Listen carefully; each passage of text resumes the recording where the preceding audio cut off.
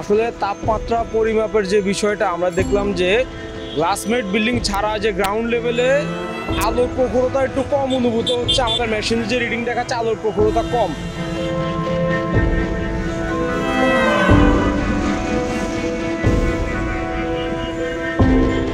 যখনই আমরা গ্লাসমেট বিল্ডিং এর অপোজিটে দাঁড়াচ্ছি, তখন আলোর প্রখরতা একটু বেশি দেখা যাচ্ছে। যার ফলে তাপমাত্রার যে পরিমাণ বৃদ্ধি, এটা স্থানীয়ভাবে এখানে বেশি অনুভূত হচ্ছে গ্রাউন্ড লেভেল থেকে। গ্লাসমেট বিল্ডিং এর অপোজিটে দাঁড়ালে। গ্লাসমেট বিল্ডিং এর নিচে আমি অ্যাভারেজে প্রায় তিরিশ কিলো লাক্স পেয়েছি, কিন্তু যখন গ্লাসমেট বিল্ডিং এর অপোজিটে আমি দাঁড়ালাম, তখন আমি এটা তেত্রিশ কিলো লাক্স পেয়েছি, আলোর প্রখরতা। এবং একই সাথে টেম্পারেচার দেখতে পেলাম যে এখানে বৃদ্ধি টেম্পারেচার এখানে সর্বোচ্চ বিয়াল্লিশ ডিগ্রি, কখনো কখনো তেতাল্লিশ ডিগ্রি দেখা গিয়েছে।